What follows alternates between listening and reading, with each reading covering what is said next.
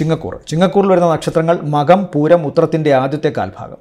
ഇവരെ സംബന്ധിച്ചിടത്തോളം കണ്ടകശനി അഷ്ടമത്തിൽ രാഹു രണ്ടാം ഭാവത്തിലെ കേതു ദോഷമാണ് ചെയ്യുന്നത്.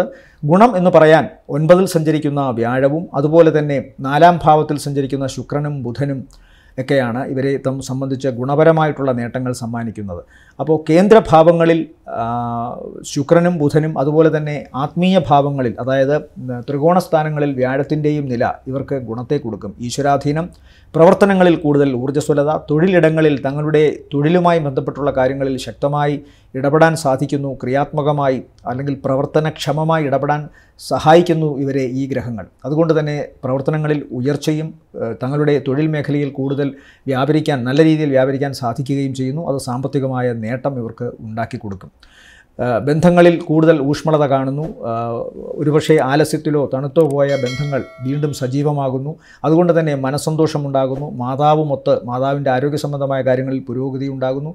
മാതാവുമൊത്ത് തീർത്ഥാടന കേന്ദ്രങ്ങളിലൊക്കെ പോകാനൊരു സാധ്യത കാണുന്നുണ്ട്. കുടുംബത്തിൽ പൊതുവേ സന്തോഷവും സമാധാനവും വിളയാടുന്നതായിട്ട് കാണാം.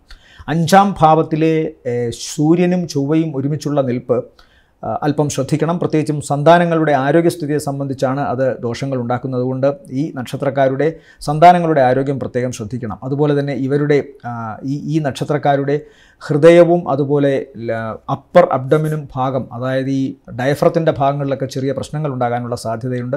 ചിലപ്പോൾ അതൊരു ഗ്യാസ്ട്രിക് ഇറിറ്റേഷന്റെ ഭാഗമായിട്ടുണ്ടാകുന്ന പെയിനോ അല്ലെങ്കിൽ മറ്റെന്തെങ്കിലും സമ്മർദ്ദങ്ങളോ ആകാം. എന്നാലും അത്തരം കാര്യങ്ങളിലും ശ്രദ്ധ വരുത്തുക.